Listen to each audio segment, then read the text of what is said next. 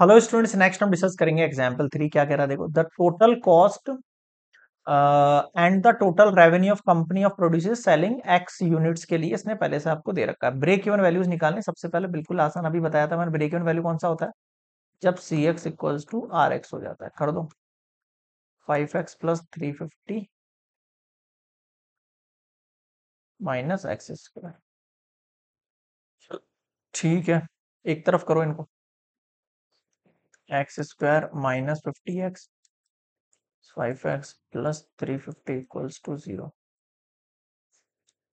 minus का forty five x plus three fifty x equals to zero factor करो। Thirty five x minus का ten x है ना?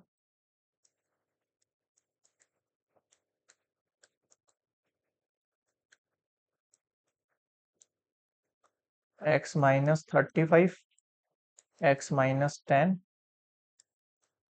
equals to zero यहाँ तक समझ में आ गया क्या? ठीक है। अब पॉइंट निकालना है तो x इक्वल्स टू एक तो थर्टी फाइव हो गया और एक x इक्वल्स टू टेन हो गया। ये आपके पास कौन सी कंडीशन आ गई? ये हमारे पास कंडीशन आ गई है ब्रेक इवन वैल्यूज़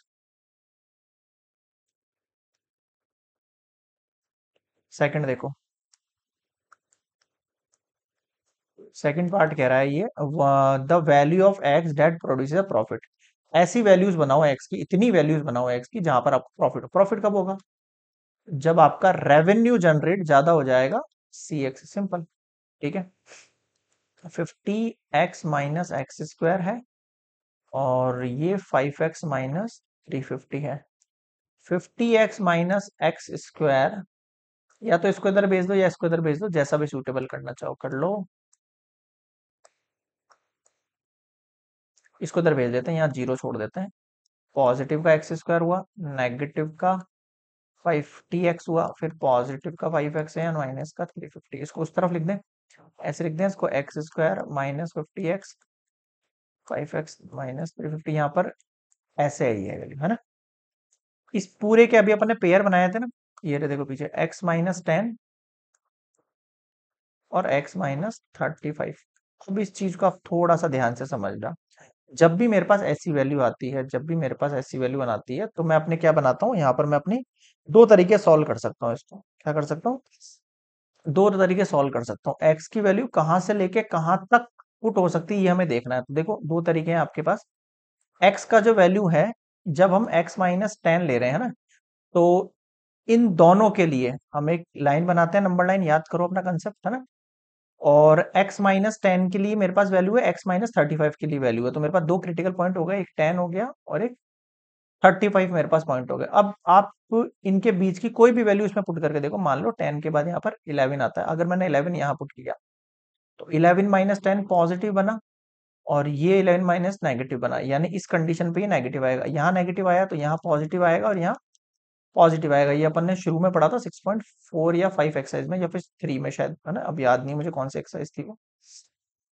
ठीक है, अब मुझे ये सारी वैल्यू लेस देन चाहिए, यानी मुझे ये इंटरवल चाहिए एक्स का, केवल ये इंटरवल और ये इंटरवल कब आएगा एक्स का? जब एक्स की वैल्यू टेन से लेके थर्टी फाइव के बीच में लाए करेगी, है ना? तो दिस इज़ मेरा रिक्वायर्ड इंटरवल ये मैं पहले आपको समझा चुका हूँ। आया समझ में? ठीक है। तो ये आपके पास प्रॉफिट की कंडीशन एक्स की वैल्यूज़ कौन सी होनी चाहिए जो टेन से ग्रेटर हो थर्टी फाइव से लेस हो, तब आपका काम बन जाएगा प्रॉफिट में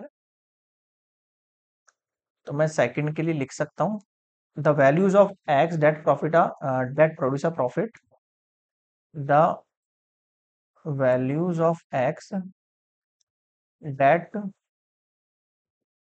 produces a profit is